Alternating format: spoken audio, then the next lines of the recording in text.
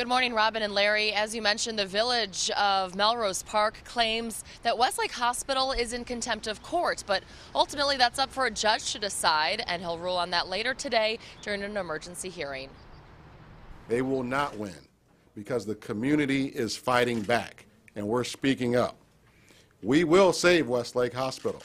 A judge granted an emergency injunction Tuesday ordering Pipeline Health to keep Westlake Hospital open until May 1st.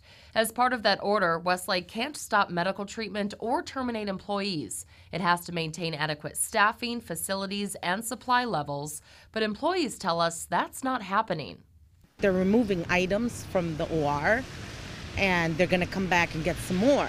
Yesterday, WGN cameras spotted a man removing what appeared to be medical equipment from the building onto a loading dock. Employees tell us it happened all day long. From the get go, they have not been fair and honest with this community. I guess the law doesn't apply to pipeline. It just doesn't. They do what they want when they want. Administrators told police they were lending the equipment to another hospital. A spokesperson for Pipeline Health says, quote, the allegations being made by the mayor and Representative Welch are patently false and absurd. The chaos they seek to create is wildly irresponsible and putting patient safety in jeopardy. We are following the judge's orders and reviewing our legal options.